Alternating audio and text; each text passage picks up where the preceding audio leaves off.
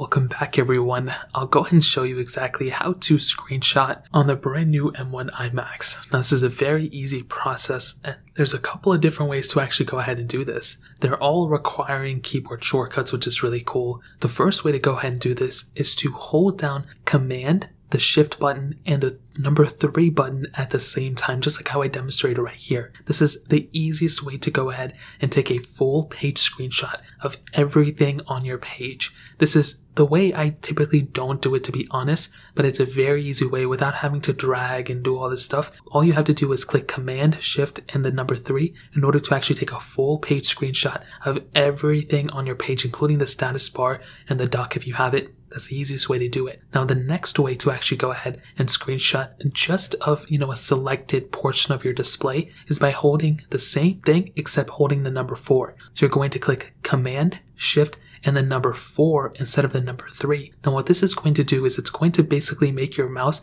into a kind of like a little arrow key. And all you need to do is just drag whatever portion of the display that you want to go ahead and copy. So let's say you don't want the whole entire thing, you know, you don't want the whole entire page screenshotted, you just want a specific portion. Well, that's how you're going to go ahead and do this. You just want to click Command Shift 4 and it's going to go ahead and screenshot whatever you drag in that specific portion. Now finally, you can actually screenshot a specific window on your specific display. So let's say instead of screenshotting everything, you just want to screenshot maybe a specific window, maybe a Safari browser, maybe within an app. Well, what you're going to do is click Command Shift the number 4 and then the space bar and you will see that it'll go ahead and kind of pinpoint and highlight whatever you're hovering over, which uh, whichever window. If you're hovering over nothing, then it's going to hover over your specific, you know, desktop. If you're in an app, it's going to hover over that. And all you have to do is just click on that, and it's going to go ahead and screenshot that. And that is typically what I screenshot. It's the easiest way to go ahead and do it, and it takes very little effort. And that's typically what I use to screenshot. I don't want to screenshot everything. I typically want to screenshot within a window, and that is essentially how I go ahead and do it. If you guys have any other questions or anything, let me know in the comment section below below. Hit the like button, that'll mean so much, but definitely hit that subscribe button. Every single subscriber that we get really does count,